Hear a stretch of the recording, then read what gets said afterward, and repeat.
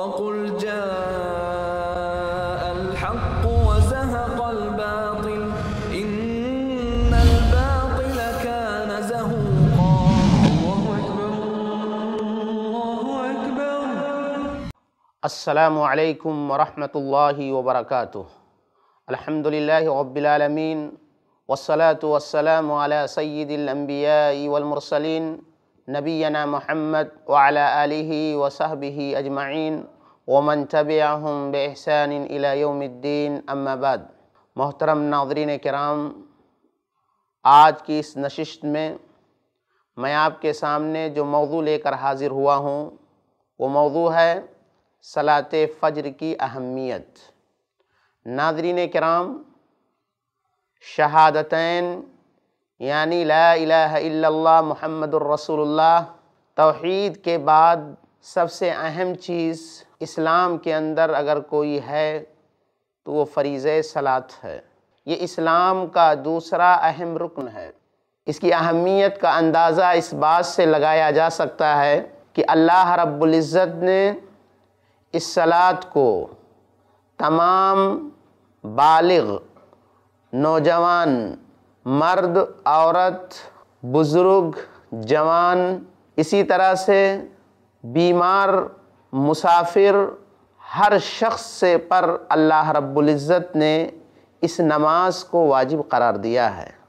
انسان خواہ غلام ہو یا آزاد ہو، کسی بھی شخص سے اللہ رب العزت نے اس نماز کو معاف نہیں کیا ہے۔ ہاں ایک شرط رکھی ہے کہ انسان کا ذہن و دماغ صحیح سالم ہو۔ لیکن اگر ہم اسلام کے دوسرے ارکان کو دیکھیں، مثال کے طور پر اگر ہم رمضان کے مہینے کے روزوں کو دیکھیں، مال کے اندر نصاب کی صورت میں دیے جانے والے زکوٰۃ کو دیکھیں، عمر میں ایک دفعہ حج بیت اللہ کو دیکھیں، جو اسلام کے بقیہ ارکان ہیں، انہیں اللہ رب العزت نے واجب تو قرار دیا ہے، لیکن ان کا حال یہ ہے کہ ان کو اللہ رب العزت نے طاقت اور قوت کے ساتھ جوڑا ہے۔ لیکن نماز کا معاملہ یہ ہے کہ اسے اللہ رب العزت نے طاقت و قوت کے ساتھ نہ جوڑ کر کے، بلکہ نماز کو اللہ رب العزت نے جب تک انسان کا ذہنی توازن، عقلی صلاحیت باقی ہے کسی بھی صورت میں ادا کرنے پر قادر ہے، اللہ رب العزت نے اس سے معاف نہیں کیا ہے۔ مسجد جا سکتا ہے تو جانا ضروری ہے، نہیں جا سکتا ہے وہ گھر پر ادا کرے۔ کھڑے ہو کر ادا کرنے کی صلاحیت ہے تو ٹھیک ہے، ورنہ بیٹھ کر ادا کرے۔ بیٹھنے کی صلاحیت نہیں ہے تو لیٹ کر کے کرے۔ پہلو کے بل، حتیٰ کہ اگر اشارے سے نماز پڑھنے کی قدرت ہے تو اشارے سے نماز ادا کرے۔ وضو کی صلاحیت نہیں ہے تو تیمم کر کے اگر وضو اور تیمم کی بھی صلاحیت نہیں ہے تو جس حالت میں ہے انسان صلاۃ کی ادائیگی کرے، نماز سے چھٹکارا نہیں ہے۔ لیکن دیگر ارکان کا حال یہ ہے کہ ایک تو انہیں نماز کی طرح سے دن میں پانچ دفعہ اللہ رب العزت نے واجب نہیں کیا ہے۔ رمضان کے مہینے میں، سال میں صرف ایک مہینہ اللہ رب العزت نے رمضان کے روزے کو واجب کیا ہے، وہ بھی طاقت و قوت کی صورت میں۔ ورنہ انسان فدیہ ادا کرے، کفارہ ادا کرے، مسکین کو کھانا کھلا کر کے اس فریضے سے آزاد ہو سکتا ہے۔ اسی طرح سے ہر شخص پر اللہ رب العزت نے زکوٰۃ کو واجب نہیں کیا ہے۔ زکوٰۃ صرف سال میں ایک دفعہ ہے، نصاب پورا ہونے کی صورت میں ہے۔ انسان کی فصل جب کٹے تب اس کی ادائیگی ہے اور وہ بھی صرف ایک دفعہ ہے۔ روزانہ کسی بھی شخص پر اللہ رب العزت نے زکوٰۃ کو واجب قرار نہیں دیا ہے۔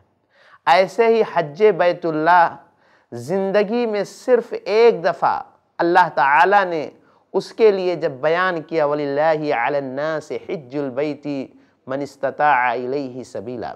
ناظرین کرام، نماز کی اسلام میں بہت زیادہ اہمیت آئی ہوئی ہے۔ اللہ رب العزت نے نماز کو اپنے اور بندے کے درمیان قرب کا ذریعہ قرار دیا ہے۔ فرمایا وسجد وقترب اے نبی پاک صلی اللہ علیہ وسلم، آپ سجدہ کیجیے اور اپنے رب سے قریب ہو جائیے۔ نماز کا حال یہ ہے کہ اللہ کے نبی صلی اللہ علیہ وسلم نے ایک حدیث کے اندر ارشاد فرمایا یبن آدم، تفرغ لعبادتی ام صدرک غنن و اسد فقرق و علم تفعل، ملأت صدرک شغلا ولم اسد فقرق یہ ایک حدیث قدسی ہے۔ اس کے اندر اللہ رب العزت بیان کر رہا ہے۔ رسول اکرم صلی اللہ علیہ وسلم اس حدیث کو اپنے رب سے روایت کر رہے ہیں۔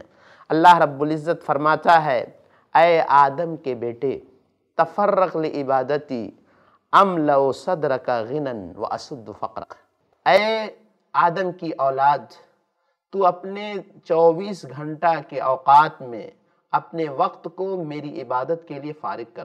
اس کا فائدہ یہ ہوگا، ام لو صدرک غنن و اسد فقرق ہم تیرے دل کو بے نیاز کر دیں گے اور تیری زندگی سے فقر و فاقہ کو ختم کر دیں گے۔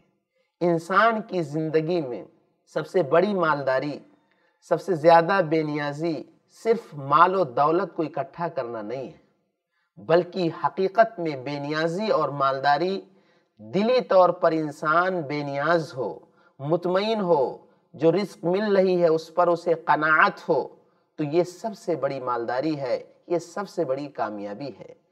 اللہ کے نبی صلی اللہ علیہ وسلم نے اس حدیث کے اندر اللہ رب العزت سے روایت کرتے ہوئے فرمایا کہ اللہ تعالیٰ فرما رہا ہے، اے آدم کی اولاد، تو اپنی اوقات میں سے کچھ وقت میری عبادت کے لیے فارغ کر، میں تیرے دل کو، تیرے سینے کو بے نیاز کر دوں گا، مالدار کر دوں گا، اور تیری زندگی سے فقر و فاقہ کو، بھکمری اور فقیری کو ختم کر دیں گے۔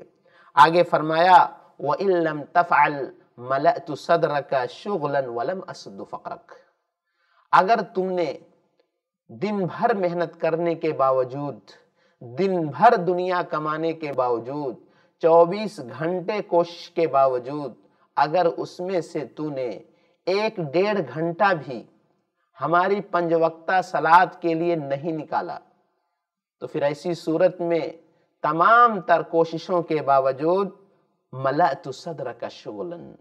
ہم تیرے سینے کو مزید مشغولیت سے، مزید کام سے، مزید دنیا سے اور جوڑ دیں گے۔ لیکن اس کے باوجود، ولم اسد فقرق ہم تیرے فقر و فاقہ کو، تیری غربت اور محتاجگی کو دور نہیں کریں گے۔ آج ہم حالات کا جائزہ لیں۔ اپنے گھر اور ماحول کا جائزہ لیں کہ انسان کے گھر کا ہر فرد صبح دنیا کی تلاش میں نکلتا ہے۔ حتیٰ کہ بیوی تک بھی کمانے کے لیے چلی جاتی ہے۔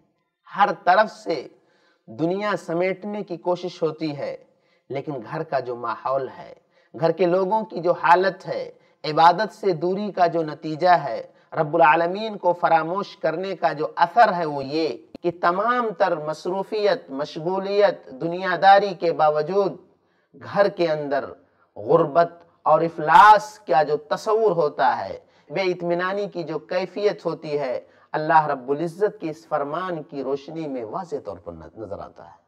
لہذا ہمیں نماز کے لیے، اللہ رب العزت کی عبادت کے لیے اپنے وقت کو فارغ کرنا بے انتہا ضروری ہے۔ کیونکہ اللہ رب العزت قیامت کے دن سب سے پہلے اگر ہم سے سوال کرے گا تو اسی نماز سے متعلق کرے گا۔ اللہ کے نبی صلی اللہ علیہ وسلم فرماتے ہیں اول ما يحاسب به العبد من اعماله يوم القيامه الصلاه اللہ کے نبی صلی اللہ علیہ وسلم فرما رہے ہیں، بندے کے جو اعمال ہوں گے، دنیا کے اندر کیے گئے جو کام ہوں گے، ان میں سے سب سے پہلے روز قیامت جس چیز سے متعلق سوال ہوگا، حساب و کتاب ہوگا، وہ نماز ہے۔ لہذا، فَإِن صَلُحَتْ فَقَدْ أَفْلَحَ وَأَنْجَحْ، وَإِن فَسَدَتْ فَقَدْ خَابَ وَخَسِرْ۔ اللہ کے نبی صلی اللہ علیہ وسلم فرماتے ہیں کہ اگر اس کے اعمال درست رہے، اس کی نماز درست رہی، تو یہ شخص کامیاب و کامرہ رہا۔ اور اگر اس کی نماز فاسد رہی، تو پھر ایسی صورت میں ناکامی و نامرادی اس کے مقدر ہوگی۔ اسی کی طرف اشارہ کرتے ہوئے دوسرے خلیفہ راشد سیدنا عمر فاروق رضی اللہ تعالی عنہ کے دور خلافت میں سے یہ بات ہمیں ملتی ہے کہ ایک دفعہ انہوں نے اپنے تمام گورنروں کو جو مختلف شہروں کے جو ذمہ دار انہوں نے متعین کیا تھا، انہیں ایک عام آرڈیننس صادر کیا۔ اور اس میں یہ بات لکھی کہ ان اہم امورکم عندی الصلاح، فمن حفظها وحفظ علیہ حفظ دینہ، ومن ضیعها فہو لما سواہ اضیع۔ سیدنا عمر فاروق رضی اللہ تعالی عنہ نے یہ تحریر درج کی کہ تمہارے جو بھی کام ہو سکتے ہیں، حکومت سے متعلق، دین سے متعلق رعایا سے متعلق تمہارے جو بھی کام ہو سکتے ہیں، میرے نزدیک ان کاموں میں سے سب سے اہم کام یہ نماز ہے۔ لہذا جس شخص نے اس کی حفاظت کر لی، اس کی حفاظت اپنی رعایا سے کرا لی، اس پر پابندی برت لی، فرمایا، حفظ دینہ، تو اس نے اپنے دین کی حفاظت کر لی۔ ومن ضیعها فہو لما سواہ اضیع اور جس شخص نے اس اہم فریضے کو ضائع کر دیا، اس اہم فریضے کو پس پشت ڈال دیا، اس سے غفلت برتی، تو پھر دین کے دیگر اور کاموں کو، حکومت کے دیگر اور کاموں کو وہ ضائع کرنے والا ہے۔ ناظرین کرام، اس دنیا کے اندر ہر شخص اپنے دنیا سے رخصت ہونے والے عائزہ و اقارب کی آخری وصیت کو، آخری نصیحت کو، آخری فرمان پر عمل کرنے کی پوری کوشش کرتا ہے۔ اگر ہم سچی محبت رسول اکرم صلی اللہ علیہ وسلم سے کرتے ہیں، صحیح معنوں میں اگر ہماری محبت رسول اکرم صلی اللہ علیہ وسلم سے ہے، تو ہمیں اپنے نبی کی آخری وصیت پر عمل کرنا چاہیے۔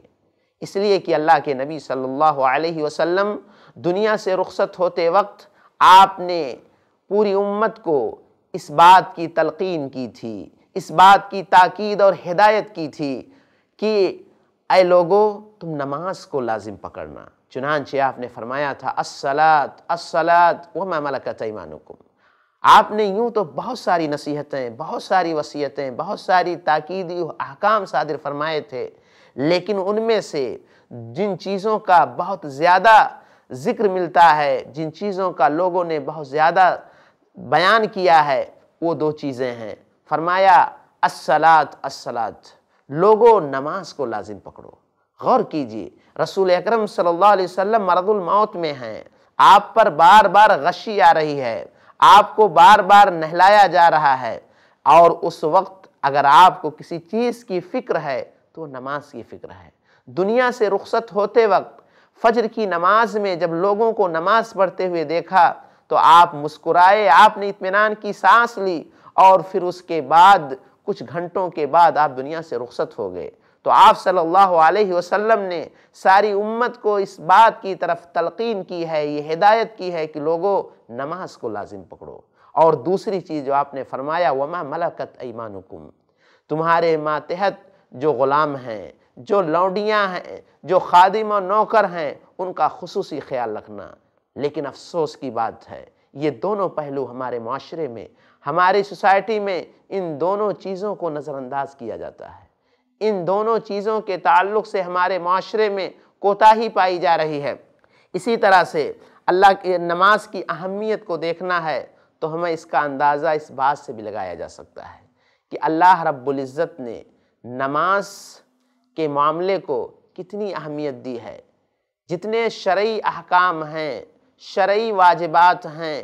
ان تمام کے تعلق سے اگر ہم دیکھتے ہیں تو ہمیں یہ معلوم ہوتا ہے کہ اللہ رب العزت نے شریعت کے تمام فرائض، تمام احکام بذریعہ جبریل یا آپ صلی اللہ علیہ وسلم کو خواب کی شکل میں اللہ رب العزت نے وہی کر کے رسول اکرم صلی اللہ علیہ وسلم تک پہنچایا۔ لیکن نماز ایک ایسا عمل ہے، نماز ایک ایسا فریضہ ہے کہ اللہ رب العزت نے بہت ہی اعزاز کے ساتھ، بہت ہی اکرام کے ساتھ، بہت ہی عزت کے ساتھ ایک اہم دن، ایک اہم جگہ آپ کو بلا کر کے اس فریضے کو دیتا ہے، اس تحفے اور ہدیے کو دیتا ہے، ایسی جگہ دیتا ہے جہاں جبریل تک کو جانے کی اجازت نہیں ہے۔ صرف اس وجہ سے تاکہ لوگ اس کی اہمیت کو سمجھیں، اس کے مقام کو سمجھیں کہ جس سفر میں جاتے وقت اللہ رب العزت پہلے تو رسول اکرم صلی اللہ علیہ وسلم کو یہ اعزاز عطا کرتا ہے کہ آدم علیہ السلاۃ و تسلیم سے لے کر نبی کریم صلی اللہ علیہ وسلم سے پہلے تک جتنے انبیاء و رسول گزرے ہیں سبوں کو بیت المقدس میں اکٹھا کرا کر کے آپ کی امامت میں سب کو نماز پڑھاتا ہے۔ اور جب آسمان کا سفر شروع ہوتا ہے۔ جب معراج کرتے ہیں تو ہر ہر آسمان پر فرشتے اور اسی طرح سے انبیاء میں سے کوئی نہ کوئی نبی ہوتا ہے جو آپ کو مرحبا کہتا ہے، آپ کو ویلکم کہتا ہے، آپ کو خوش آمدید کہتا ہے اور اس طرح سے عزت افزائی کرتے ہوئے اللہ رب العزت کی بارگاہ میں صدرت المنتہا تک پہنچتے ہیں، جہاں لائٹنگ کا بہترین انتظام اللہ تعالیٰ کرتا ہے۔ اور اسی طرح سے خوبصورت مناظر بناتا ہے، آپ کو جنت و جہنم کی سیر کراتا ہے۔ وہاں یہ نماز کا تحفہ دیتا ہے، جو پہلے پچاس وقت کی ہوتی ہے، لیکن اللہ رب العزت رسول اکرم صلی اللہ علیہ وسلم کی بار بار سفارش گزارش کی وجہ سے اسے پانچ میں محدود کرتا ہے اور کہتا ہے، ہن خمسن وہی خمسن لا يبتل القول لدیا۔ یہ پانچ اگرچہ ہیں، لیکن ان کا رتبہ، ان کا مقام، ان کی فضیلت، ان کا ثواب پچاس کے برابر ہے۔ ناظرین کرام یہ ساری چیزیں، یہ نماز کی اہمیت کو واضح کرتی ہیں۔ رسول اکرم صلی اللہ علیہ وسلم نے نماز کو گناہوں کے کفارے کا ذریعہ قرار دیا۔ ایک انسان صبح اٹھ کر کے صلاة ظہر سے پہلے تک نہ جانے کتنے گناہ کرتا ہے، کتنوں کو گالیاں دیتا ہے، کتنے کو برا بھلا کہتا ہے، کتنوں کی غیبت و چگلخوری کرتا ہے، کتنا مال میں، غلط انداز میں مال کو کمانے کی کوشش کرتا ہے۔ اور اس طرح سے نہ جانے کیسی کیسی غلطیاں کرتا ہے۔ لیکن رسول اکرم صلی اللہ علیہ وسلم نے فرمایا کہ ایک نماز دوسری نماز کے درمیان، ایک جمعہ دوسرے جمعہ کے درمیان کی غلطیوں کے لیے کفارے کا سبب ہیں۔ اور اللہ رب العزت نے فرمایا، ان الحسنات یذہبن سیئات یہ نیکیاں گناہوں کو مٹانے کا بہترین اہم ذریعہ یہی وجہ ہے کہ اس کی اہمیت کے پیش نظر، اس کی فضیلت کے پیش نظر اس کے مقام و مرتبے کے پیش نظر صحابہ کرام نے اس کو بہت مضبوطی کے ساتھ تھاما اور اس طرح سے اس کو برتا کہ اللہ رب العزت نے نماز کے تعلق سے ان کا وصف بیان کرتے ہوئے اپنے نبی کو مخاطب کیا، تراہم رکعن سجدن یبتغون فضل من اللہ ورضوان ان کی نماز کی عادت اور نماز کے سلسلے میں ان کی تڑپ کا یہ عالم ہے کہ اے نبی آپ انہیں ہمیشہ رکو سجدے کے عالم میں پائیں گے۔ یہ اللہ رب العزت کی رضا اور اس کی خوشنودی حاصل کرنے کے لیے نماز میں پڑے رہتے ہیں۔ رات میں بستر سے اپنے آپ کو دور رکھتے ہیں۔ تتجافا جنوبہم عن المواجع۔ یدعون ربہم خوفا یہ رات میں جب لوگ خراٹے کی نیند لے رہے ہوتے ہیں، ان کے جسم ان کی بستروں سے دور ہوتے ہیں، یہ جنت کی امید میں، آخرت کے خوف میں یہ اللہ رب العزت سے دعا و فریاد کر رہے ہوتے ہیں۔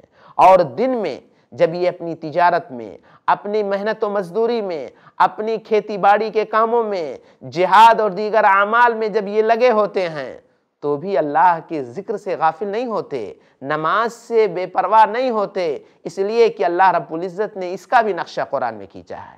رجال لا تلہیہم تجارت ولا بیعن عن ذکر اللہ وان اقام الصلاة کہ یہ ایسے مرد ہیں کہ ان کی تجارت، ان کا بیع و شرع ان کی خرید و فروخت، انہیں اللہ رب العزت کے ذکر سے، نمازوں کو قائم کرنے سے انہیں نہیں روکتی ہے۔ یہی وجہ ہے کہ صحابی عبداللہ بن مسعود رضی اللہ تعالیٰ عنہ فرماتے ہیں کہ نماز سے غافل رہنے والے صرف منافق ہوتے تھے اور ہم میں سے جو شخص نماز میں نہیں آ سکتا تھا، اگر اسے دو تین لوگوں کے سہارے آنا پڑتا تو وہ دو لوگوں کے سہارے گھسٹ گھسٹ کر مسجد میں پہنچتا تھا۔ یہ نماز سے ان کی حد درجہ محبت، حد درجہ لگاؤ کا نتیجہ تھا۔ کیونکہ انہیں معلوم تھا کہ نماز کی اہمیت بہت زیادہ ہے۔ نماز انسان ادا کرتا ہے۔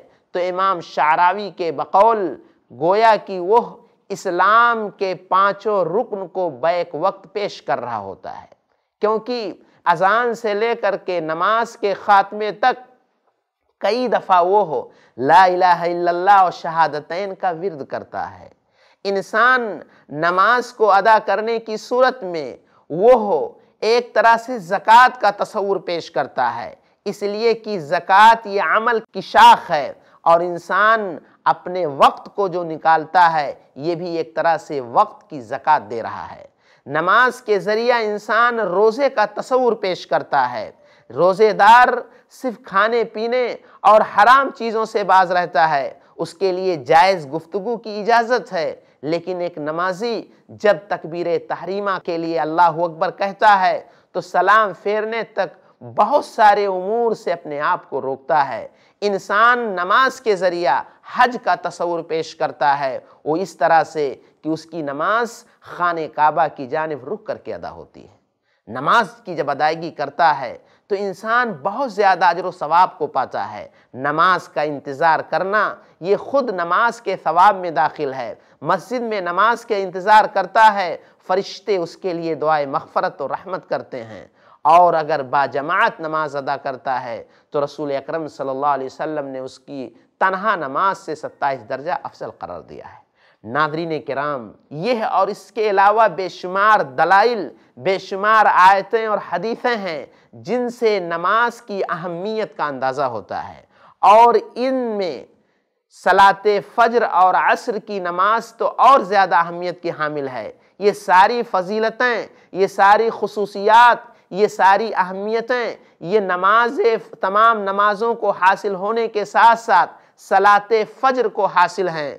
لیکن صلاة فجر سے متعلق خصوصی طور پر بہت ساری دلیلیں، بہت ساری آیتیں، بہت ساری حدیثیں اور بہت سارے فوائد و ثمرات ہیں جن کا انشاءاللہ ذکر آئے گا۔ لیکن افسوس ہوتا ہے، ہم مسلمانوں کے حالات کا جب جائزہ لیتے ہیں، اللہ کی قسم دنیا کے اندر جتنے بھی فرقے، جتنے بھی مکاتب فکر، جتنے بھی انداز میں نمازیں پڑھنے والے اور دین پر عمل کرنے والے ہیں آپ ان کی کتابیں دیکھیں، ان کی مقدس کتابوں کو کھگالیں اور پڑھیں تو کسی بھی مکتب فکر کے یہاں، کسی بھی مذہب کے یہاں، دین کی جانب منصوب کسی بھی جماعت کے یہاں نماز چھوڑنے والے کی کوئی حیثیت نہیں ہے۔ نماز نہ پڑھنے والے کا کوئی مقام و مرتبہ نہیں ہے۔ لیکن تمام لوگوں کے ہاں جائیں، تمام لوگوں کا جائزہ لیں تو حقیقت یہ ہے کہ نماز کو لوگوں نے ایک اختیاری مسئلہ سمجھ لیا ہے۔ نماز کو لوگوں نے ایک نفلی معاملہ سمجھ لیا ہے۔ چنانچہ کچھ ہفتے میں حاضری کو ایمان کی پہچان بتلاتے ہیں۔ کوئی شوقیہ مہینے میں کبھی پڑھ لینے کو ایمان کی دلیل سمجھتے ہیں۔ کچھ رمضان کے مہینے کو عبادت کے لیے خاص کر لینا پورے سال کے کفارے کا ذریعہ سمجھتے ہیں۔ اور کچھ تو عید و بقرعید کی حاضری ہی اپنے ایمان کی معراج اور اپنے ایمان کی پہچان سمجھتے ہیں۔ اور جو لوگ نماز پڑھتے بھی ہیں، ان کا بھی حال اللہ رب العزت ہی جانتا ہے کہ نماز میں جسم میں حاضر ہوتے ہیں، لیکن ذہن دماغ نہ جانے کہاں ہوتا ہے۔ امام نے قیم رحمت اللہ علیہ لکھتے ہیں کہ دو لوگ ایک ہی امام کے پیچھے، ایک ہی صف میں، ایک ہی ساتھ نماز پڑھ رہے ہوتے ہیں۔ اور دونوں کی نمازوں میں اس قدر فرق ہوتا ہے جیسے آسمان و زمین کے مابین فرق ہے۔ ایک شخص اپنی تجارت اور اپنے سارے کام کے بارے میں سوچ رہا ہوتا ہے اور دوسرا شخص جنت و جہنم کے تذکرے قرآنی آیات میں غور و فکر اور انتہائی خوشو و خدو کے ساتھ اپنے نماز کی ادائیگی کرتا ہے۔ لیکن اس کے ساتھ ساتھ اگر فجر کا معاملہ دیکھیں تو کچھ لوگ ایسے ہیں جو پورے سال فجر کی نماز ہی نہیں ادا کرتے۔ کچھ تو رمضان میں ادا کر لیتے ہیں اور کچھ کا حال یہ ہے کہ برسہ برس گزر جاتے ہیں اگر ان سے معلوم کیا جائے تو کہتے ہیں فجر میں آنکھ نہیں کھلتی ہے۔ ناظرین کرام، یہ انتہائی افسوسناک صورتحال ہے۔ یہ انتہائی تکلیف دہ پہلو ہے اور اس کی وجہ سے ہمارا معاشرہ، ہماری سوسائٹی، ہمارا سماج تباہی و بربادی کے دلدل میں پھنس رہا ہے۔ ناظرین کرام، وقت ختم ہو گیا۔ انشاءاللہ اسی تعلق سے آئندہ نشست میں گفتگو ہوگی۔ اب ہمیں اجازت دیں۔ السلام علیکم ورحمۃ اللہ وبرکاتہ۔